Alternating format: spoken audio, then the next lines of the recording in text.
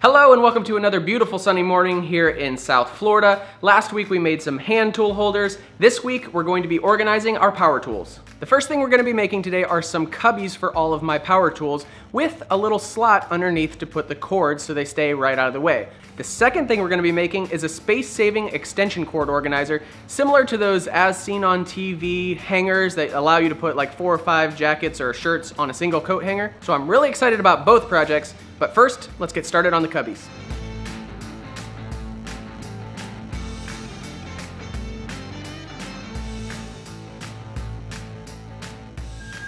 After measuring my tools, I've decided on a 12 inch shelf. I am going to use my scrap pieces of 3 quarter inch ply. So that is why I'm making an actual shelf out of half inch ply and the dividers out of 3 quarter instead of the other way around.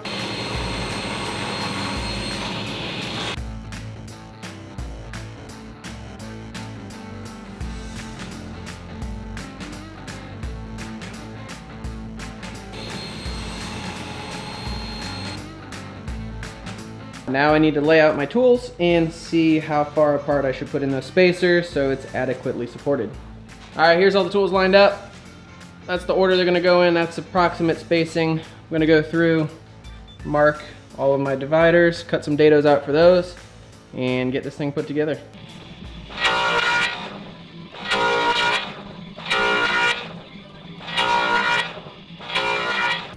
Got all the dividers set on the bottom. Now I just have to create this shape to sit in all of these. Here is the first test fit. And this is without any glue or screws or nails. This is just all friction held together. I just wanted to make sure the spacing was good. And I am very happy with how it turned out. There is one major oversight. I did not think about how I was going to attach it to the wall.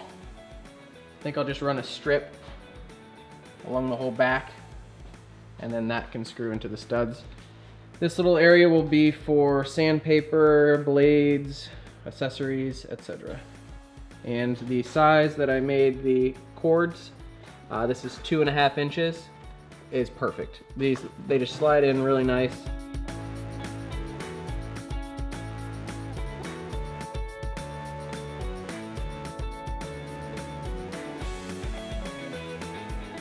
Okay, all glued and nailed. Now I just need to sand it and put it on the wall.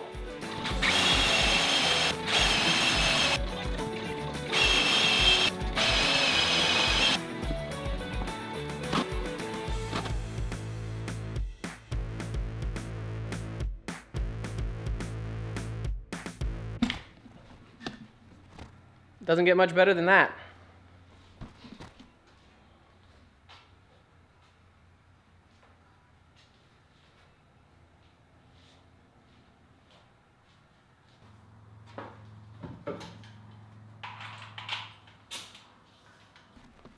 We'll see you tomorrow to start making the extension cord organizer. See you then. Bye.